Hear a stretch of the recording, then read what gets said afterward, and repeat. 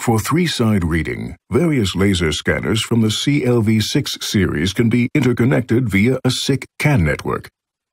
To start read mode, the master scanner sends out a trigger signal to all interconnected scanners.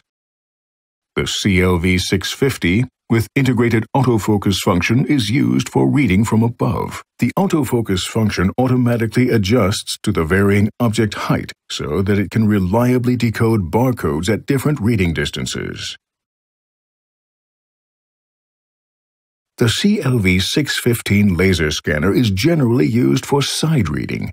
Once the reading process is complete, the master scanner collates the results from the individual readers and sends this data to the second generation CDF 600 Profibus gateway. The combined read result is then sent to the PLC via Profibus protocol. Simple networking within the CLV6 series thanks to integrated SICK CAN network. The compact design enables installation even in applications with limited space.